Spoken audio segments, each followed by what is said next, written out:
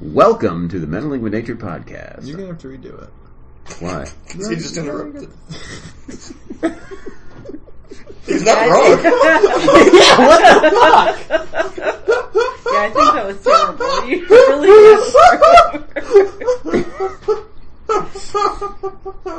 It was a bit self-fulfilling there, but you know. All right. Well, we're Wait, wait, wait, wait, wait, wait. Wait, whose side are we on? Welcome to the Meddling with Spoons God, God piece, apparently. Is that not what we call these? Everything was fine until the microphone was plugged in. See, I think that's the thing is that you need to not tell us when we're live. Welcome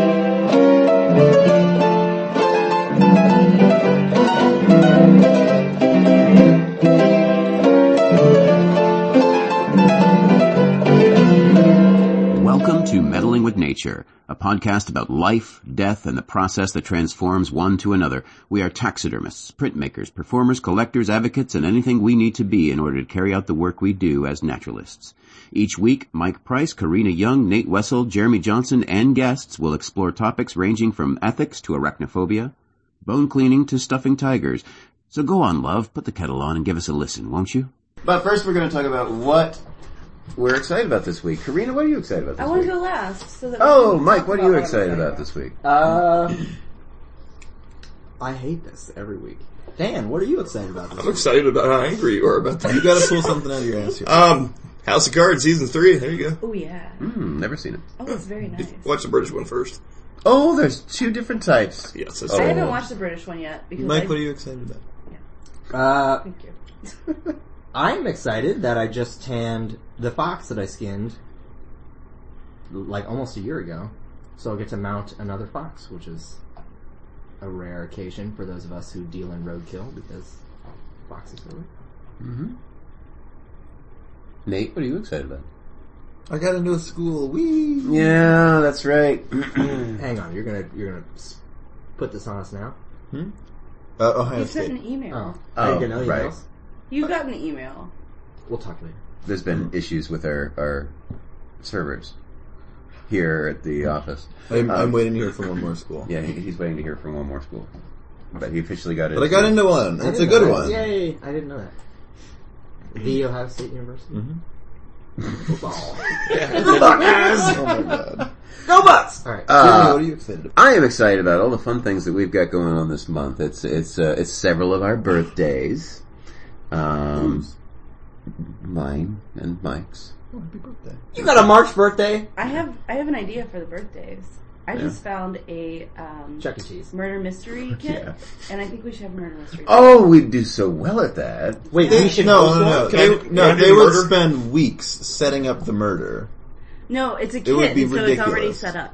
They're They not going to have any fun then. Well, I they bet can we can set have up the fun. next one. We can just do this one from my kit because I've been carrying this kit around forever. We're having a f- good time talking to But a. you've got like a suitcase Orb. full of murder. No, I, that's me. Always. You just open it up and suddenly, I like, it borrowed looks it like from someone's Dan. been murdered. Oh, it's the magic murder bag. God. I love the magic murder bag. It's a bit messy. I haven't tidied. I am Henry Tal, what are you Kissinger. excited about? No, I'm not. I'm, uh, what? What am I excited about? Birthdays. No, I don't care about the birthdays. I'm caring about. We've got a lot of things going on this month. We've got we've got uh, um, well, one big one is is the Carnegie Show opens uh, in two weeks. I'm excited about. What are you excited about? You have to wait for your cue. this is organic. You can't so just be excited. You can't just be excited. She can't hold it. I'm it. excited about our float in the Bockfest parade. Damn straight. Tell me more. Oh, well, we've been planning a float for the Bockfest parade, and Yeah. the Bockfest is a beer festival, or wait, a festival celebrating the coming of spring. Mm-hmm. AKA, it's a reason for us to all get really drunk. And so they make Bock beer, Mm-hmm. and um, there's goats, and we have a goat. We have a really beautiful cashmere goat. Name's that- Toads. His name's Totes, and um, Do you have a and- tote bag? He will. He sells them. He sells them. At, at Totally Toads at the mall. Have you not been? They also have fanny packs. So if you're in the market. mall from the farm. Yeah, he's really bad at the cash register. It's a mess. I can visualize it. Yeah. anyway, so um, he probably tries to eat everything too. Um, and so so we're we're gonna have a float in the Bockfest parade, and we're really excited about that. And this year we are registered, and so we could potentially win a trophy. Mm-hmm. And so I'm looking forward to getting that trophy. And How uh, big is the trophy? How many It's- tiers? it's pretty damn big. It's pretty. Okay, like Yeah. three tiers or more. I think it's like three. There's That's two a nice different. trophy. That's a serious trophies that they trophy, give you. yeah, yeah. One Yeah. of them is kind of boring, I think, and the other one is fun. Uh, and our sound effect for, for tonight, as uh, you know, last week was dripping water. Sound effect for tonight is not what has been in every podcast, but Karina, what are you doing I'm knitting a scarf. for a for a sheep? So we're gonna make this scarf, and we're gonna attach it to a lamb, and that lamb's gonna be knitting a scarf, and the yarn's gonna be coming out of his belly. Mm-hmm. It's gonna be real cute. It's gonna be real adorable. He's gonna be in a rocking chair. I've decided the lamb's a boy. Okay. All right. all He's a little boy scarf with a bonnet on. Wait, you got to decide that? I just have been referring to it as a, in with a male pronoun. It's Doesn't going to be anatomically correct. doesn't it have one or the other? I don't know. Probably has You one or the other. Do you know what it's Uh, boy or it could be I think it's a boy. Is it? Okay, I'm well pretty then, sure. then, I'm pretty sure Lammy is. then I'm a boy. fucking right. I know. That's all that matters. All right. Okay. So, what is our topic tonight? Last week we talked a little bit about uh, about evolution, both human and general animal. Um, and I think this week, this week we're going to kind of continue that conversation a little bit more, but get a little bit more in depth with it. And I think that there's a few things uh, that kind of went back and forth last week that, that maybe we need to to do some clarification on. Uh, Nate, you heard some things, didn't you, uh, when you were listening? Yeah, so I, I wanted you to clarify um, your, your distinction between correction and augmentation. Um, for uh, let's see, what what conversation part was that? Um, so glasses versus bionic eyes. Okay.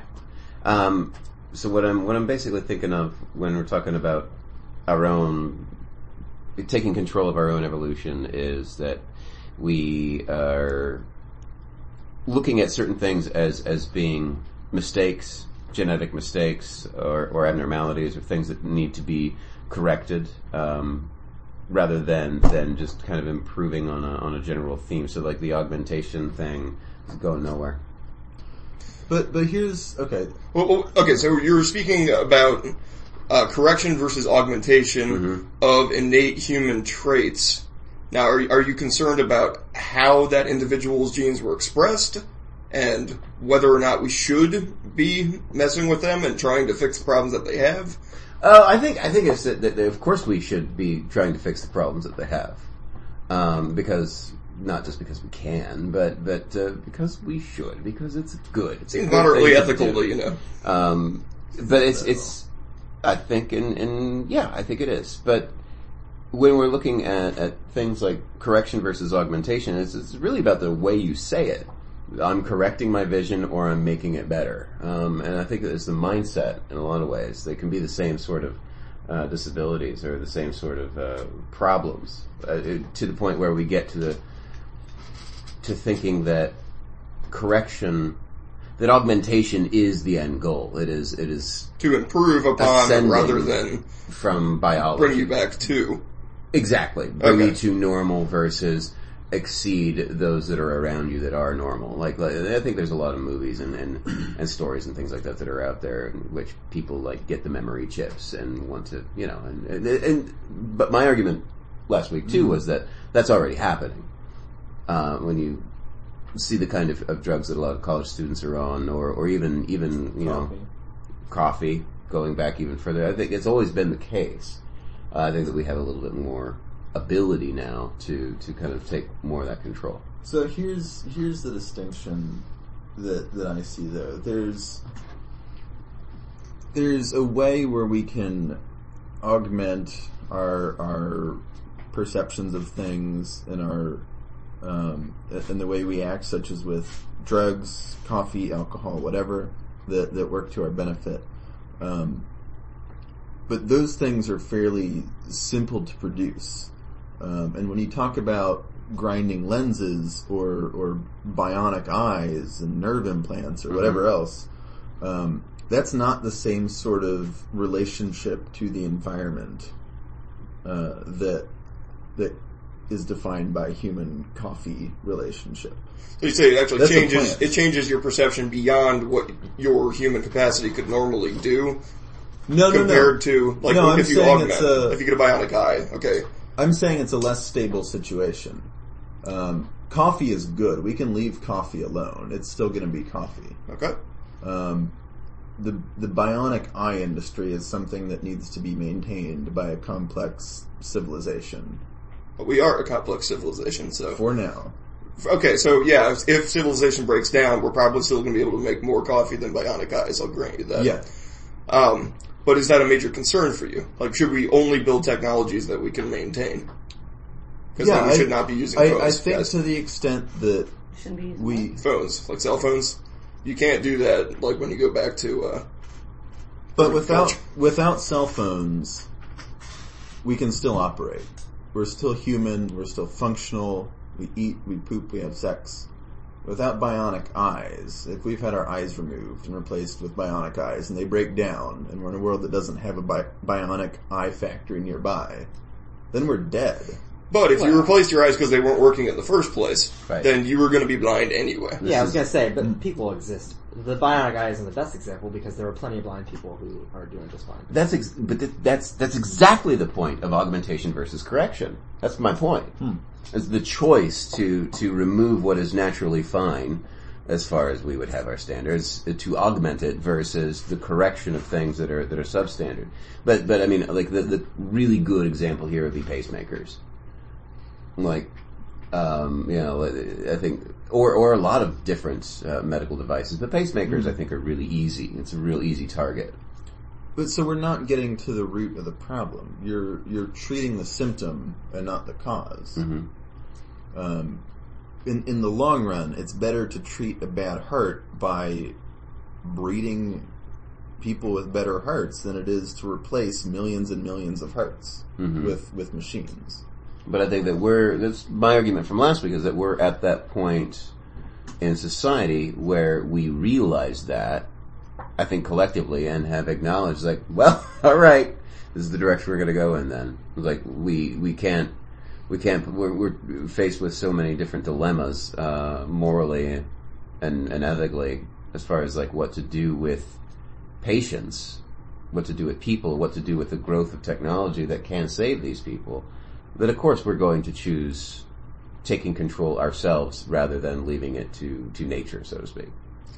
But also, do you think that um, nature is going to have a the best solution possible since evolution is uh, Dawkins' term the blind watchmaker? Things settle into place and then they work, but it's not on purpose. It's just Always how given things. time. Always given time. But I, I think that, you know, But not if we intervene. I think that Right, but um, do you think that the people that are getting pacemakers are necessarily breeding more than other people? Typically, you're getting a pacemaker a little bit late in your breeding career. but that's just one element. I Yeah, mean, there's a lot of other different Okay. things. Yeah, I mean the example I gave last time was glasses. Um, you know, I have terrible eyesight. Not not terrible, but bad. Okay. Um, you know, four out of five of us sitting at the stable have glasses. Um, and ideally, we would not, Get out. right? Get the fuck out. That's weird. Have you guys always had glasses? Is that new? I, I, I bought mine last week. This, yeah, is this your first week? You didn't get the memo. I mean, no, you, you got the memo. You just went out and got fucking bionic eyes. Like, y'all are lazy. like, right now, he's got Target acquired.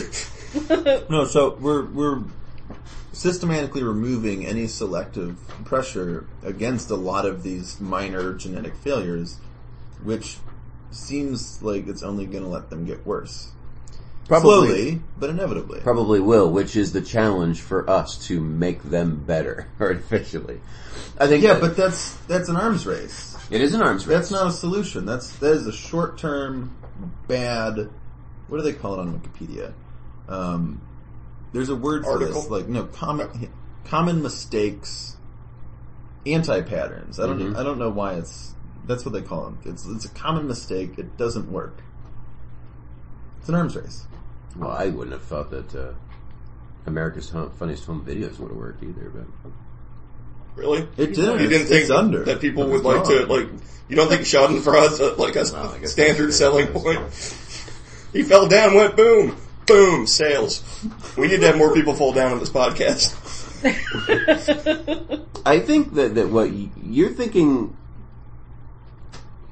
I don't know what you're thinking. Uh, um, actually, like what what are you interpreting what I'm saying? I'm raising questions, and you're definitely giving answers, but I'm saying that I don't think we got those answers. Um, so I'm not setting up any type of argument. What I'm saying is that there is this argument, and that that if we look at even you know going back as far as as um, people like Aristotle trying to find the good. Well, and Socrates before him. I mean, like what what is it that is the good in this situation? on a practical level here, um, if I could do a little pivot shift, how do you feel about manipulating your own genetics for either you know genetic defects or for augmentation? Like, let's say you want different hair color. Let's say you want to get rid of your innate eye condition, so you don't need the glasses. Manipulating your your own DNA is that problematic to you? Is that different from glasses? I would say that if that were possible, and if we understood the side effects fully, that would probably be a good thing. Okay, so so you're open to the manipulation of Yeah. the actual genes I'm- of the individuals. Yeah, I'm saying the, the genetic solution is the one that sticks. The technological solution is the one that crumbles as soon as we have an oil crisis. Okay. So your concern is longevity of the Yeah. fix, and and, and I, you're, I'm concerned about our reliance on bionic technology um, being a major Achilles heel in the future. But you're okay with um, altering our genetics, like having a choice about what is genetically there. So, like, if we all wanted to have blonde hair, we could all have blonde hair and be the same person. Yeah. That's creepy. You um dye your hair blonde. I do. Okay, just Yeah. just just throwing I- that no, out. That there. was why I said okay. that. That was just checking that that. was the point I was trying to All was that but I feel like if if we allow for genetic alteration, we're gonna live in a world where everybody's exactly the same, where there's not very much difference. Which is interesting though, because we actually already do live in a world where Mm-hmm. basically everyone is like we, we have so much genetically in, Mm-hmm. in common with everyone else in the human race that like, you look at other species and the uh, genetic diversity is off the roof. Like you don't even understand how these how that percentage of difference in DNA could possibly Mm-hmm. breed. But humans are incredibly specialized, and like the modifications that we'd be making would be very slight, but they, yeah, if, you know, everybody ended up looking the same. That's kind of the boat that we're already in. It's just that we get nitpicky about differences. Well, we always want to cure diseases. We do, And- hopefully. Well, yeah, I mean, and, and ever since we've really been able to kind of recognize, look, ever since we've been able to, to find ways in which to heal for whatever cause, whatever, you know, treatment, um, that has been the type of, of, of meddling in those affairs. I don't really see it much differently now. I, as far as, as, as what we're talking about, like the, some of the more advanced pieces of that, uh, 3D printing a heart, for instance, or heart valves. See, I, I feel personally that the, the, the road to attempting to, uh, breed out traits that are undesirable, even if they are traits that are very clearly undesirable, things that kill you immediately, or have an extremely good chance of killing you within 15 years of your lifespan. We don't have a good way of making a governing body for human breeding. Um, it's been attempted in the past. Wasn't very popular uh, in the long term. So, um, But but that's what I said. I mean, it, there, this should not be a central authority. Obviously, that is not the only solution. that's the only way to do a breeding program, though. Like, if you want to get puppies to look super ultra cute, you gotta have one dude that's throwing away a lot of puppies. I mean, Yes, that's, that's just but- that's the reality of the matter, and, and you're gonna get you know you don't you don't want to know what's in the sausage, so it doesn't you know are you happy with the end result, even though it would probably end up ending the lives of a whole bunch of people. puppies puppies also have a lot of other problems uh, because they're so inbred. They do, and that's a that's a major problem with man trying to breed for specific traits. I was Is that you say, end up with puppies that are that are purebreds have a lot of genetic problems. right. But it's without a central authority. You're not breeding for specific traits. You have all these different peoples and countries and cultures and, and individuals saying, I want my kid to be slightly taller than me, Mike. Um, not than me, good lord. Um, or, or, or smarter, um, or, or whatever else. I I think people actually already Right. do that in having sex with people that they're attracted to. Yeah. So that that actually works out like on yeah, the and whole, that's it's working. been pretty good. And yeah. that's working. See, and but if I- you amplify that effect a little bit with some genetic understanding, then you've got faster evolution going toward where it was already going. And that's what Uh, I'm saying. Well, you We're don't not know there. where evolution is No, I going. disagree. evolution just goes. Yeah, exactly. Okay. Uh, yes, what you got? I'm, I'm saying we make our sexual encounters more powerful with uh, No. an understanding of That point makes no sense because last week what I said was, if you are asking me about making a baby, I'm going to pick the tallest woman on earth. Mm-hmm. If you're asking me about who I'm dating, I'm going to pick someone smaller than me. Hence, the girl that I'm dating. Mm-hmm. Because to me, her and I are just normal people when we're together. I'm not going to be with some Sasquatch. No way. That would be hilarious to everyone except me. I'm not going to live that. I don't fucking, that's no. Even the So, Sasquatch would laugh. She would. gonna be- Absolutely. that's That's the be- only reason she would date me. That's gonna be a rough relationship, man. So that- from beyond. that scenario does not make sense because that sexual selection that you're referring to, that it, oh it will just happen that way through sexual selection. Mm-hmm. No, because I am not sexually attracted to somebody that's taller than me, and that is the Mm-hmm. only way to breed babies that are taller than I am. I am. I know, but but you- that's not for everybody. Is and, You're and sexually selective. You know what I'm sexually Yeah. attracted to? no, no. Well, you disagree with me. What I'm saying is he was referring to me specifically because he mentioned the me earlier when he said whatever it was, taller women or tiny children or whatever he used my name. And I I'm think- saying that that doesn't. I think that we can typically expect tiny children. From my kid. No, just in general. Yeah. And then they never grow up. Goddamn Peter Pan over here. So I don't know. I disagree with that. That's not a core. That's So not what a if way you that could- would work. What if you could have your cake and eat it too? You would be a What if magician. you could yeah, have you a talk, you're talking about baby? altering DNA. You can't just You rely can on sleep sexual with your selection short woman and you can, and have t- tall babies. yeah. so that they could beat me up when they're 13?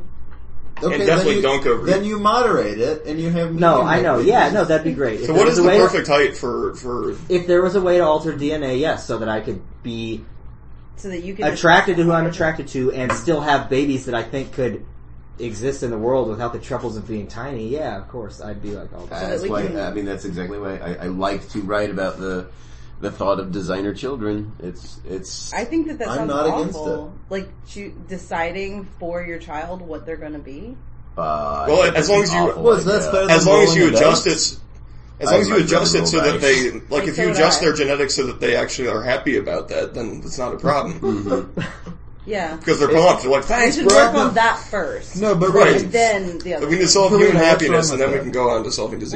What's what's wrong What's with wrong with- deciding for another person what's going to make them happy? What's no no? What's wrong? That's what with, you're saying, What's though. wrong with guiding the genetics of an unborn child? You're deciding for this child what they want. You're deciding But what's the Before- What if you alternative? What if you thought that they would be really unhappy That if you, you- let them have Lou Gehrig's? What's Like what's they'd the probably not be pumped about that. And the alternative is having a out. child and being happy with the child that you have. The alternative is not deciding. it's it's it's not deciding it's deciding to have a child regardless of you know like i'm short mm. and if i had a child with a short man i would probably have a short child i wouldn't think oh my god my poor baby is going to be short i would think i love my baby Yeah, and i, don't- love my child and I don't think that's going to ever go away. Well, hopefully not, or you know, it's never going to go away that I don't think me having like a mothers baby- are like going universally stop loving their children. i'm not Which gonna, unless we exact- genetically program them to. No, Oh, which uh, is exactly Lord. why it doesn't make any sense that you have Not a good long term solution, I'm saying, but which Sorry. is which is exactly why it doesn't make sense that you have this whole philosophical thing that you just rely on.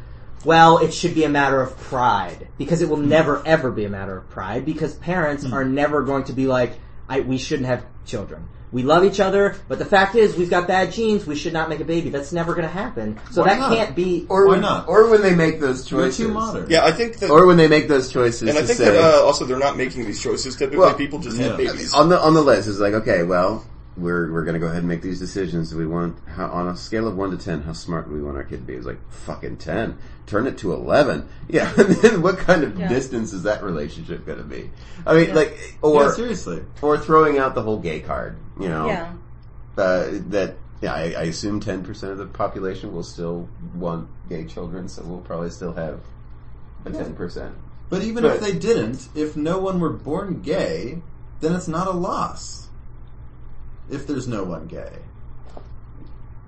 Am I wrong? Because there's Well, no depends. diversity. depends on what the good is if if you what give is people, the fucking good Yeah, if you give people the option to choose whether or not their child's going to be smart or tall or whatever, they're always going to choose the thing that they think is the best thing, and then you wind up in a society with no diversity.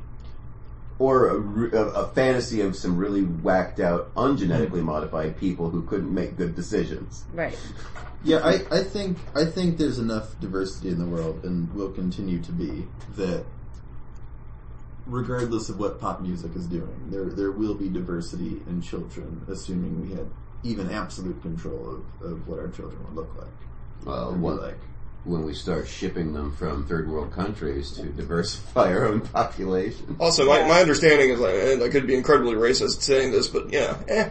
Um, in South Korea, I believe there's a, a pretty big bent towards facial reconstructive surgery to the point that a reasonable percentage of the of the female population has adjusted towards a norm. It's yeah, I okay, I did hear something about that Yeah, because it's actually it, it is considered uh, Mm. medically necessary for socialization. Right. Right. sure, we say the same about braces in this country. And in some cases they're required, in some cases they're just augmenting rather than correcting. So yeah. So would it be better that they were born with the faces that they would almost certainly end up wanting? Or should they have to go through a painful surgery? But we're you're deciding before they're born what they want. or you're failing to decide. It, you you can't fail to decide what somebody else wants because If only the only person I would never ever want anyone else to make a decision for me. Mm. And so if my parents would have decided before me for me but my parents made enough decisions that were bad about my life. I don't want them to have any control over But my if- physical If body. your parents were you given know? the choice, they either decide or they decide not to decide. Who doesn't open the envelope? You know, I think that, that, that that's one of the questions. Like, what do you what do you do in the scenario? Let's say that, that because this is this is a far flung scenario, but maybe not all that far flung. It takes a lot of programming, I'm sure, to program a person, but we're getting there. Um, you've got a sheet in front of you, Karina. You're pregnant. You are gonna have a baby. It gonna happen. Now here's your preferences list. Do you pick it up, crumple it, you know, and throw it into the trash can, or do you look at it? I mean, I'd like to look at it, but I don't think that I'd want to fill it out. This is what they did to me last week. Okay.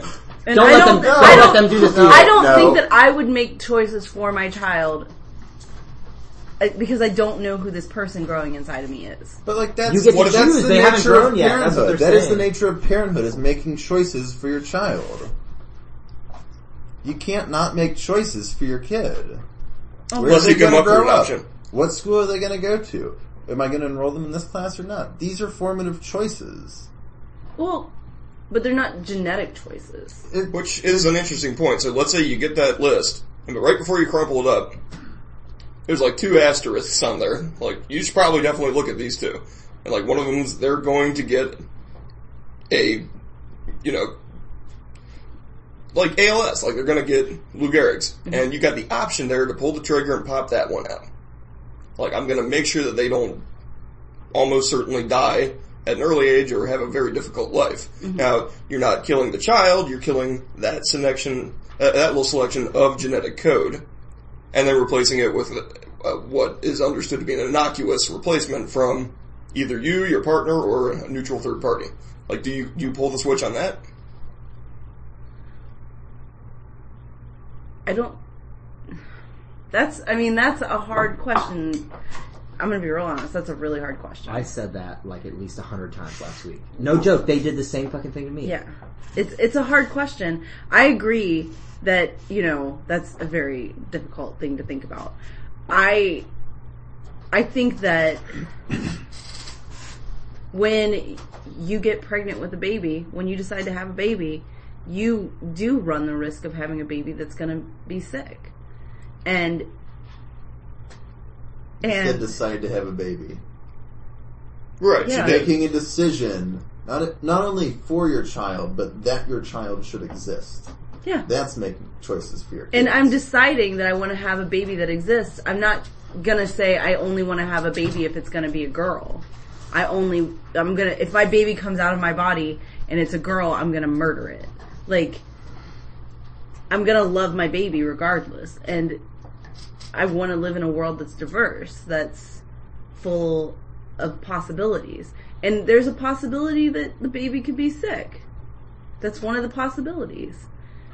But is that a positive aspect to being diverse? That some of some of Yeah, the the population think is so. sick and dying, as opposed so. to different color hair and different height and things like that. I that believe, some yes. babies born should be sick and dying, and we should spend taxpayers' money and time and resources on keeping them alive. Right? Not they're never going to get better, but we are spending time, resources, all of that to keep these children alive so in they can grow to be pain. right, so that they can grow to be teenagers, young adults, and then die. we have that same argument with the elderly as to whether or not, you know, if they get so achy, should we just put them down? Oh, that that goes into it. Yeah, okay. That that's gonna go. It's gonna go too far how, how do you mean? because because that's such a, a rich sort of uh, sort of discussion on its own right. But but the one one place I, I want to almost try and keep this to is is where we're making these decisions as far as the changes that that we are willing or willing to uh, decide on for our babies. I keep thinking back to dogs. Yes. Yeah. um, are you willing to make that choice as a uh, as a dog owner? And a lot of these people, I mean, many many of you out there are very attached to your. We were just sharing pet photos here uh, before before the podcast began. But we were looking at, and what what were we saying? We were talking about you can breed a Pomeranian with anything, and it just turns out cute. Oh yeah, Yeah. like a hundred percent. Now, do I want to make that decision for my my my uh, son or daughter? No. Why? What's the difference? I mean, I, obviously. I would not have a, a breeded dog necessarily either though. So, Well, like, I, the funny thing is, I had a good friend of mine say to me in response to last week's con, uh, Compass. Pod- podcast. Codpiece. Codpiece. I had a good friend of mine say Oh, to me in response to last week's podcast, so would you consider humans to just be breeders from now on? In that set of philosophy, do you now consider us to be breeding a specific type of children rather than parenting and, and making choices? You're now breeding in the same way that you're breeding dogs. Well, in what way do we? What, In what way do we not do that? okay, same. same Samesies. Because we do, be, no no no because we don't it, I the, agree. the question what you were just saying no no we do not no we don't consider ourselves to breed humans the same way we breed dogs he was saying consider humans to be breeders in the same way that we breed dogs the point that jeremy just brought up the point that my friend was asking me is that I where think- humanity is moving I think that implies a central agency, which I've already denied. I don't think it does. Hmm. I don't think that we're going to have central agencies like that much longer. That's why we can't have bionic eyes. No, I don't. I, I'm not saying it like that. I'm not saying like I'm seeing hellfire. I'm saying that We're the democratic social- process has has gone quite a lot different, uh, differently than than a lot of other political systems. It, it will be more voted on by the public. It will be more democratic. Quotation marks. I don't think you're going to have many central organizations anymore. Redo that one. What the hell, people? Are we breeders like Point. dogs? I'll clap. i thought we were whistling Now breeds. considering human beings to breed people in the same way that we breed dogs, like Jeremy just mentioned, you want a Pomeranian plus a husky. I have a husky female. I go find a male Pomeranian and I breed them. So uh, that's the question. Is now we're talking about humans moving into that same direction where you're actually picking. I guess I don't know for your child or for if it's for yourself, but you are you become a breeder rather than. I guess sexual selection. It's now different. There are people who do that. I mean, I've met women who are looking for someone to have babies with. Oh, and also the frozen sperm industry is say, yeah, very yeah, much I like oh, it's have cool to go to. All right, close enough. I wouldn't do that. I'd want to have a baby with somebody I loved. Oh, Aren't we old fashioned? I'm having nothing but robot babies. So you love robots? I love robots. It's just because of the way they look at me all the time. Thanks, I- NSA. I, I think the dog breeding is a false analogy because in that situation, there's a whole nother species. It's like a god looking down on on on Canis familiaris and saying, "Thou shalt be this," exactly. um, so, and that's not what what uh, self-managed human evolution, to coin a horrible term, would be. except for that, um, have you ever met a baby? Yes, You're like a god to them. like you're huge and you can do anything. and you can make already- things disappear. They're already even if you're bad at magic. ways, genetically. Yeah, I mean, yeah, they, yeah, they're set in their ways. They're in a genetic rut. I guess yeah. I guess we can all agree that babies are in a genetic rut. That's a good. We'll make that the topic for next week. No. so much of my frustration, uh, as far as, as again with the separation of humans and nature, humans and animals, everything is so special when it gets to to humanity, and is test worthy on everything else. That's that's where that's where I'm kind of wanting to drive part of this too. and I have a, a point that I think is salient Mm-hmm. to that. Uh, I think at some point, perhaps last week or another week, you were speaking about hive Yeah, animals. yeah, yeah. Hive animals have a tendency to not give a flying fuck about which one of them dies because their Mm-hmm. genetics are identical. Like they, they are, I mean, they're expressing them differently, which gives them their different forms. But from a genetic standpoint, it doesn't matter if the guy to the left of me dies or if I die because the genes get passed on no matter what. And they are identical. I mean, Right, they're- they are literally all- identical. It does. sisters, the genes are going to carry on no matter what. And humans are extremely close genetically.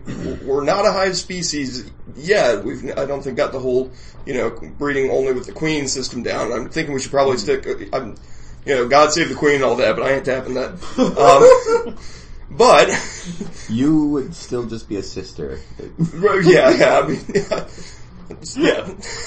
yes, absolutely. Anyway, so uh, I think that uh, I think the genetic similarity of humans also uh, creates a little bit more protectiveness. So we are more protective of each other than we are about dogs. Oh well, thank you very much for leading into that because that's that's that's like a one of the cornerstones of of what I think is that the race does race isn't enough. Uh, you know, like it it it requires other species. We need to segregate by other categories. We need to have other species to really appreciate what it's like to be a dog. Other species of humans. Yes, yeah. Yeah. But coyotes can still breed with the regular dog population. Oh well, so- coyotes are, are you know there's there's there's um, arguments that the red wolf never actually existed. It was just a weird inbred inbred coyotes. Right. Uh, but yeah, they'll they'll breed with anything and can. Yes. That's like you know Anything? golden. Well, any Watch out. Have you not seen coyote? They have that power. was, was that excitement in your voice? any dog species. Well, I guess, but oh, Canis latrans. this is uh, this this hive mentality is. I, I think I, I came to this why I disagreed with your comfort with technological augmentation. My comfort with it, or Yeah. my my You bringing it seemed up. excited about it. I'm excited about everything I ever talk about. Okay, well, I was like, whoa, I don't want to talk about that because that's No, no, no. I was terrifying. excited because it, it seemed like it was very perplexing. Uh. Well, let me let me continue anyway, and, and Uh-huh. let me just uh, put it on you so I can attack you and beat you down. Mm-hmm. That seems reasonable. Um, sure, yeah, it's the usual method. Um, Would you listen to most anything I've ever said? Where is it that this is a good idea? I'm going to go ahead and No. allow a full-on assault on Jeremy at this time. um, moderating. I, I was I was arguing that um, a reliance on technology uh, for survival for augmentation um, is a reliance on civilization, um, which is essentially to say that I did not want to give up my individuality to become part of a hive organism. which is a concept. It's a collective hive mind. Uh, I believe it was uh, what's what's the book? Uh, I Sing the Body Electric. It was like where Mars has a human colony, but they've all created a hive mind, Oh, and so they grok things instead of learning them. They just reach out into the into the uh, collective and grab that information, and they're like, "All right, I know what we're talking about. Let's roll." So And- you would you would opt out of that kind of where com- communist uh, where I am, where I am currently, who I am, uh, not having been born into that hive. Um, yeah, I mean, I think I think we're on the cusp of that, where we're so specialized that none of us can exist outside of civilization. Um, but I I like to imagine that I'm not so far away from the past that if everything went to shit, just me and my body could make it in the world. I was going to go down the uh, landslide of how could how many different ways can the world end, but we we already know that it, it doesn't matter because we're going to die when it happens. Yeah. Like statistically, Or before. But that's that's that's, Or that's before. you know this, probably before actually. since ancient times that's been the same sort of thing. It's been the same concern for anybody in a city. Yeah. Again, like what is what uh, as far as um, what was it with the the ancient go? What's the the most lazy of occupations? Philosopher. Whatever job I can get. No. Most lazy of occupations is the shepherd because they just follow their meals around all day. Yeah, but you have to follow the. Fuck. I know. Well, can I be a sandwich herder? Yeah, I was a sandwich artist. Um, I was. No, I think that that's always that's always Or been, was it sandwich craft? But there's there's a difference between being a shepherd, um, and and being like the the financier of a factory farm operation in the middle of nowhere that has everything piped in and piped out. Mhm. And uh, Those to- people are not able to survive in the wild. I think that's a salient point. Um, with regard to factory farming, genetically, most of those animals are pretty much identical, and in the wild, they'd probably have a really rough time if they were mm-hmm. released because they're lumbering monstrosities that were created by way mm-hmm. of selective mm-hmm. breeding for a specific Absolutely. trait. Yeah, to be docile and have lots of meat, Yes, basically. which is presumably not what we would do. To Well, we could if we would decided to become a society of cannibals. Yeah. we we'd be docile ourselves though. Well, no, not not the super predators. Oh, oh, so we divide into classes. Right, obviously, yeah. The easier is to keep the cows. You know, I'm a humanitarian.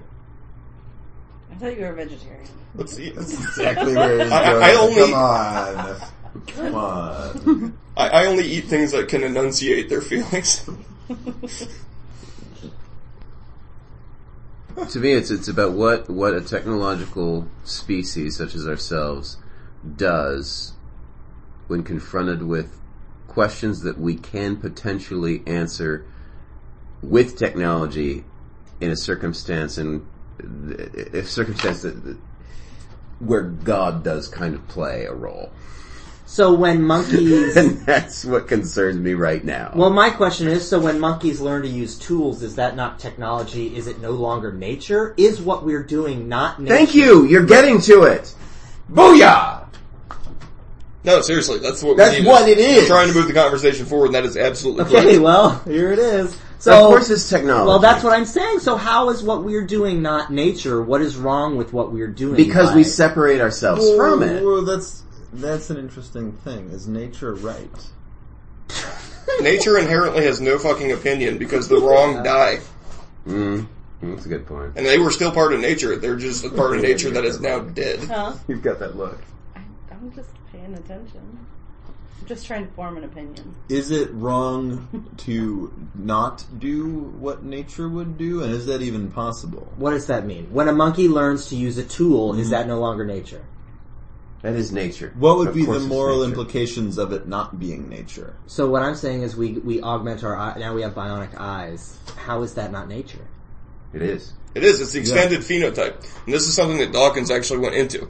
Uh, the the genes that are expressed in a beaver when it goes to create a dam and create a large flooded landscape that is better for other beavers, including itself. Those came from the genes of the beaver. It didn't do it because it was like, you know what I like? Is a bunch of fucking logs. And like everything being swampy. And we're doing that now because I'm feeling it. It's like, nope, I'm a beaver. Let's go fuck around. And it does it because its genes are like, hey man, it's not soggy. Let's get a little soggy up ends. And the beaver's like, alright, cool genes. And so it goes out and does that. And the thing is that it then changes the entire landscape of the area because it's a beaver that's like, I'm gonna go fuck around. But it's not, it's not it's consciously doing that. I don't think that the beaver wakes up in the morning and is like, well, I could live in a condo or must put swamp time and then just swamps it up. Like it doesn't make a decision to do that. So that, and I think that humans then changing their environment like we do We're different. no, no, we're, we- we're not different. We're literally using our we're using our words and using our tools like the monkeys did. We we we got tools and they, we, the tools got complicated complicated enough that we had to make words about the tools. And then once we did that, we're like, oh shit, mm-hmm. dude just did a fucking 360 flip off of that cliff and he died, but that was awesome. I'm gonna figure out how to not die and learn from each other.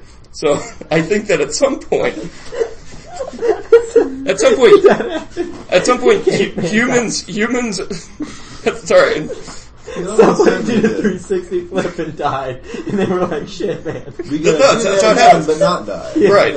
And that's the thing. And so humans learn from each other, and we use the technology that we create, and that is the extended phenotype of humanity. We change the water around us in mm-hmm. extremely complicated and weird ways, and we stand on the shoulder of, of the of the giants that propelled us there. So I can't make a smartphone.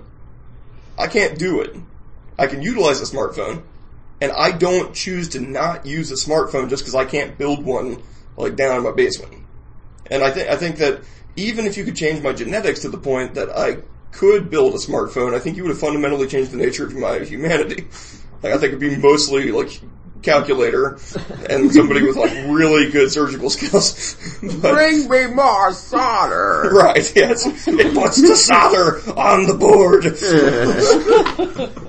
so, I think that a genetic solution to uh, mechanical issues is is not the most productive way to go about things. So I think we're, we're kind of butting heads on these arguments. But here's here's what I'm saying. If I can use the, the beaver metaphor, That's Um, my favorite metaphor. yeah. um, is that that's that's all well and good and good for the beavers, so long as they still know how to make a dam. Because if they if they take for granted for a millennia that there is going to be a swampy area and they all forget how to make a dam and the flood comes and washes it away, then what do they do? Well, then only the beavers that remembered how to make dams will survive, and nature will go on its course, and you'll have a slightly reduced beaver population for a short period of time I- I until think- the, the few that remember how Yeah, Go get And busy. I, I think that's probably the answer, and, and it's and it's almost moot to to argue this because um, if people want to augment themselves in the hope that uh, the technology is going to be available for the next generation, why not? There'll be enough people who don't do that um, who will survive if and when civilization falls for a time. Well, we ended last week's podcast with, with Jeremy mentioning the plague thing. Like, if and when the plague happens, I mean, I think that's kind of the culmination of all of these issues is, yeah, the, the bionic eye industry is going to go down, there's a plague, and yeah, there'll be more people alive. Who, Stumbling around with bad eyes. Or, no, Well, they're stumbling around summer with, a plague mostly. yeah, without bionic eyes, and they'll be the ones to reproduce in the same way that the flood washes away the dams and there's only so many beavers left. Well, there you have it. Please be sure to join us again next week where we will talk about something completely different. You've been listening to the Meddling with Nature podcast with Karina Young, Nate Wessel, Mike Price, and yours truly, Jeremy Johnson. Be sure to visit us on www.meddlingwithnature.com and keep us in mind for all your dissection and taxidermy needs.